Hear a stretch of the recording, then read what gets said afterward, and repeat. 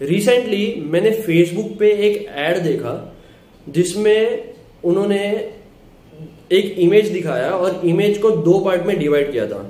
एक साइड में mail boob दिखाया था basically a man who has grown boobs basically and secondly दूसरे साइड पे उन्होंने बताया था कि do a surgery male boobs removal surgery and get a flat chest okay ये सब करने की आपको कोई ज़रूरत नहीं है। अगर आप एक अच्छा डाइट एंड एक्सरसाइज फॉलो कर रहे हैं on a consistent basis for few months आप देखेंगे कि आपका जो चेस्ट का फैट है, वो रिड्यूस हो रहा है मसल ग्रो हो रहा है एंड नेचुरली आपका जो चेस्ट है, वो फ्लैट हो जाएगा। उसके लिए आपको खाली कमिटमेंट कंसिस्टेंसी डिसिप्लिन ये सब लाना पड़ेगा। And of course a good diet and exercise तो ऐसी सब एड से आप दूर रहिए, ये सब स्कैम है, ये सब करने की आपको कोई ज़रूरत नहीं है। Thank you